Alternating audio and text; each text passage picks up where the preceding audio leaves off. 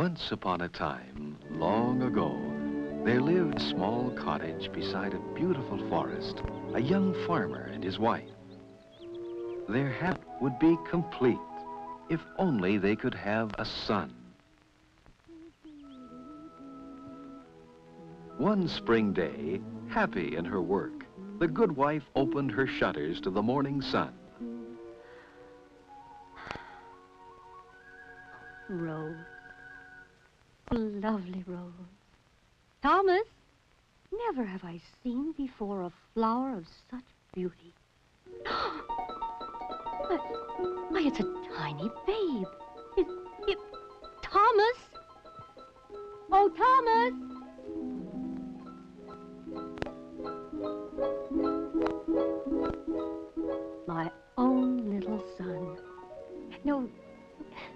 Bigger than... Indeed, he is no bigger than my thumb. What shall we call him? Let's call him Thomas, after you. I, Little Tom. Tom Thumb. Shh.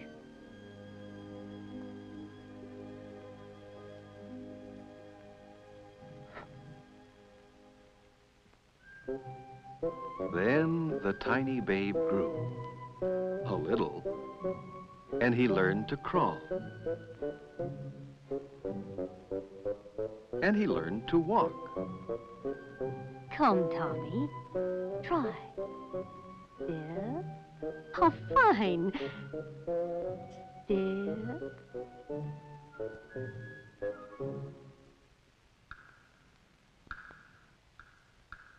Oh!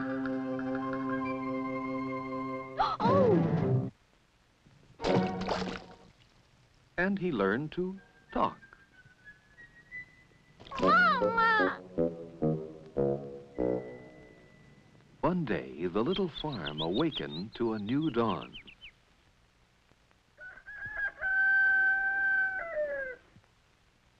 And little Tom awakened to find himself a big boy.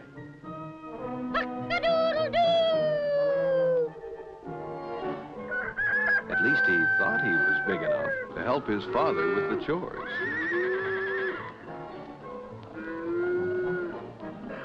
all right, all right, we're coming.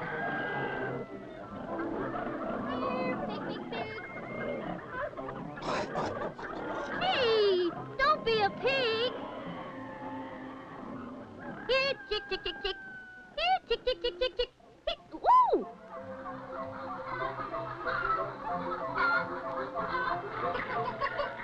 All little boys make mistakes. But in spite of his tiny size, little Tom tried his best to be a big boy, to help his father with the farm's many chores.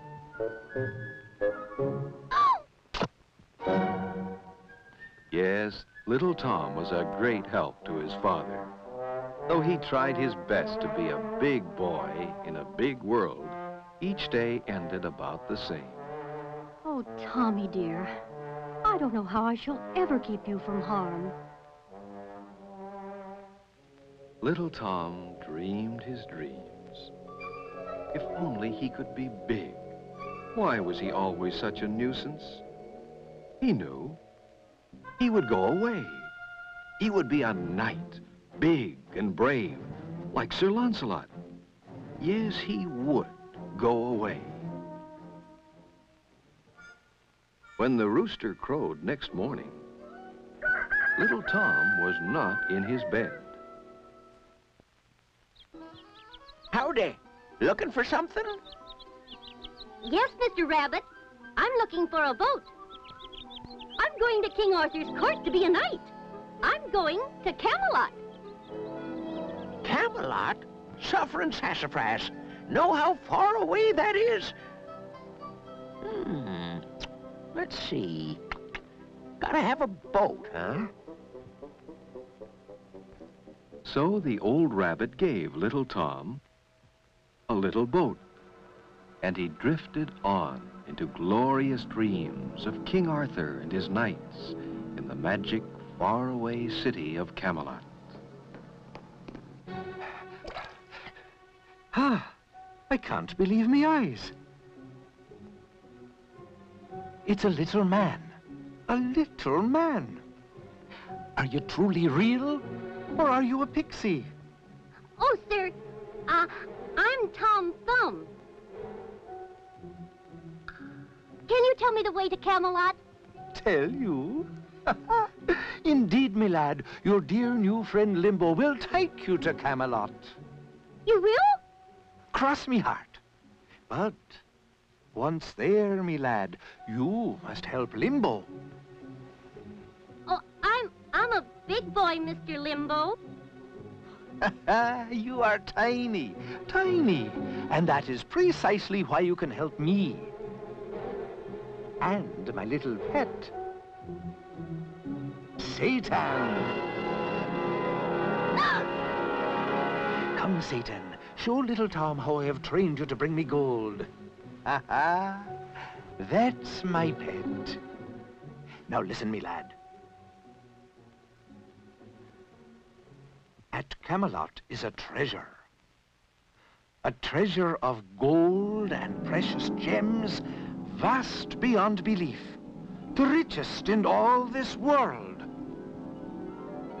It is ours, ours, me boy. You must but help Limbo as Satan does to... Oh, my little pet has found us gold for our journey. Gold which the stupid innkeeper will never miss. now, little man. You are a thief, Mr. Limbo. I will never. Little man, little man, stop. I am your friend. Wait. Or he's too fast for me.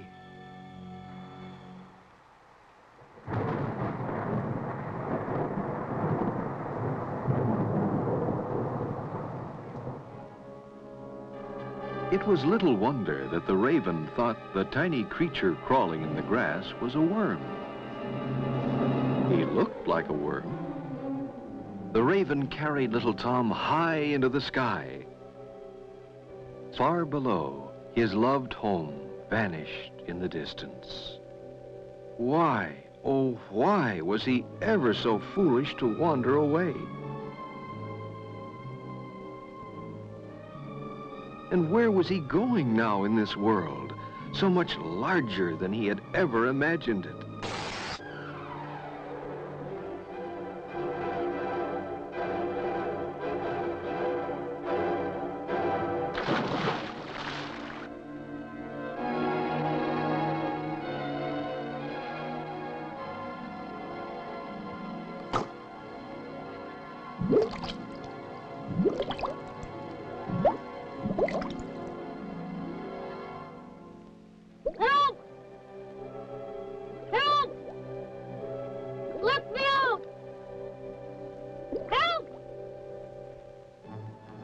Within the walls of Camelot were gathered that night for feast and celebration the great King Arthur and his valiant knights of the Round Table.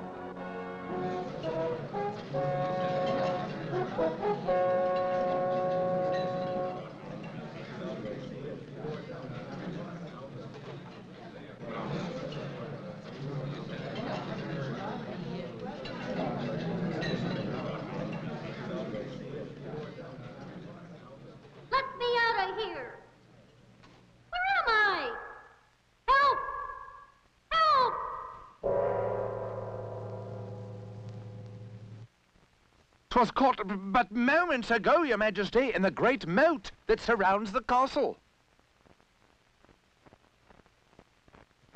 Help! Help! Let me out! Egad, a talking fish. A talking fish? Unbelievable. Incredible. Most strange. Strange indeed. And, ha-ha, what have we here? A sprite. Come out and show yourself. Come out, I say. Where am I? In Camelot, my tiny one, among friends. In truth, among the bravest in all Christendom.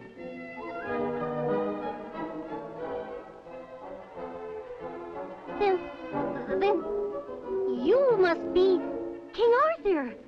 Aye, that I am. And who might you be? Tom, your majesty. Tom Thumb. Aye, tis a most fitting name, for surely you are no bigger than my thumb. But most anxious to be a big, brave knight, your majesty. Ho ho! And why not? Tis not always size that counts. Eh, Lancelot? Aye, little Tom. True valor is not a size, but rather of spirit, courage, and resolve. And that he truly seems to have. Aye, milady. But first we must find for him a suit of armor. And knightly weapons, milord. A sword, a shield, a coat of mail, A trusty lance. aye, and a noble steed. To Tom Thumb. Tom Thumb. So came Tom to Camelot, and was soon the idol of the court. The queen's small golden thimble became little Tom's helmet. Her ivory knitting needle made his long, straight lance. And his shield, well, that's the buckle from Sir Galahad's pants. And now, all he needs is a trusty steed. True, but where to find a horse for one so small? Aye, tis indeed a problem. And a problem it was. Until one day, while visiting in the royal kitchen, he saw it. My horse. My horse. There was no time to lose. Aha! Cheese! Tom ran off to talk to the steward, who talked to the chief steward, who talked to the Lord High Steward, who talked to the king. And finally,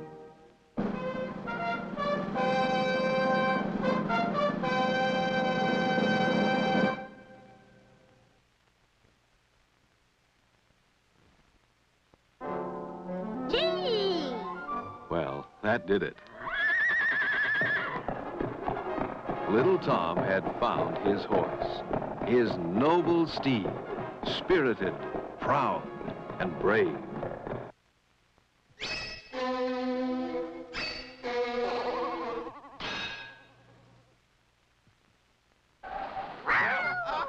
Bravo! And never thrust. Done, Tom, well done. And thy little steed knoweth well that discretion is ever the better part of valor. And that thy helmet, Sir Launcelot, doth make for them a most safe refuge. Inside Sir Lancelot's helmet, the two friends lived in comfort and security. And little Tom worked hard every day at becoming a knight.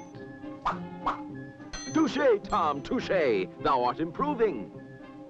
Now, once more. From Sir Lancelot, he had lessons in swordsmanship and, George! and horsemanship. The castle echoed with the sound of George! as Tom galloped his little steed in mock combat George! that sometimes turned out to be quite real.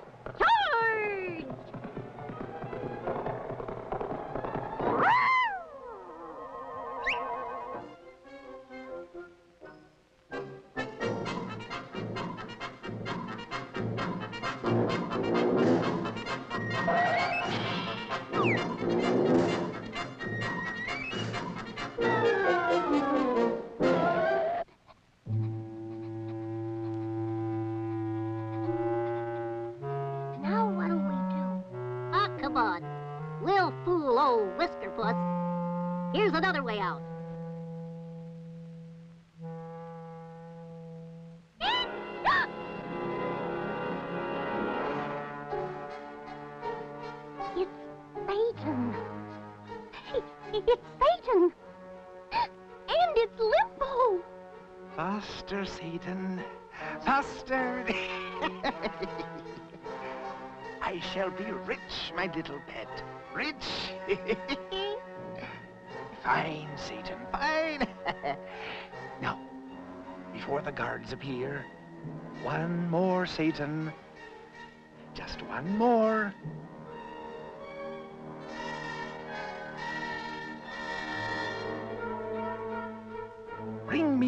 The king's great jewel, the emerald amulet. Hurry, Satan, faster, faster. They're stealing the king's treasure. Now listen, you can... That's my pet. Come, come, come. Ah, Satan, look out! Charge!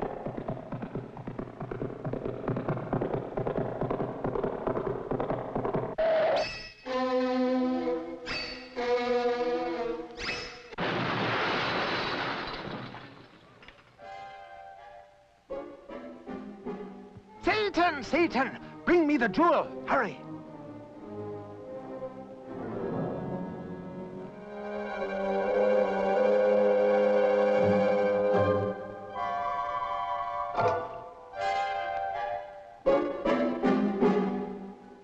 Satan, do not stop. Satan! Come, come, Satan!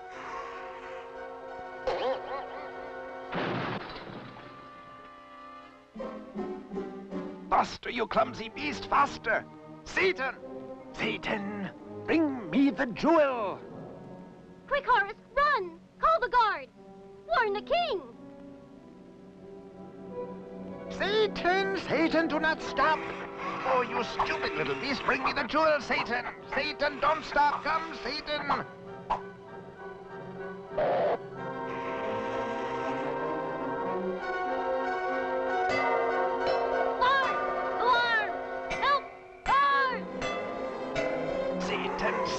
Stop, you stupid fool! Stop, stop! Bring me the jewel! Oh, stop, you stupid beast! Stop! Hear me, stop! Satan, Satan, bring me the... Ah! ee, help, I'm ruined! I'm... Oh, you scoundrel! Hold or we'll... Toss him taut, my lads. Your Majesty, we've caught the rogue. Open the door.